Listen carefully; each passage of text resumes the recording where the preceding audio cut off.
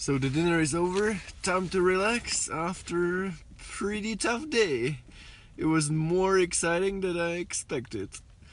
I fell on my first go on the pitch 10. I did it fortunately second try, which was quite exhausting. Pitch 11 13C went first try, and then pitch 12 14B Molar Traverse. I wasn't kind of afraid about this pitch, which almost turned out to be true. On my first go, I made it all the way to the final crux, or final boulder problem on the very end, which is actually like not so bad, but I broke a foothold. On my second try, I slipped in the very same move.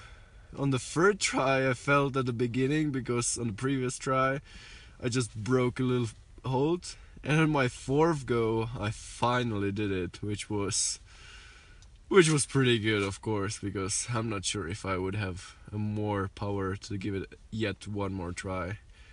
And then the pitch 13 13b was quite alright. So a big day. I think it was almost a really good training and hopefully I will be able to recover from that tomorrow which is a rest day and what about the chocolate? So the chocolate definitely helped in order to keep the mood up before the pitch 12 and it's almost finished. Pretty good.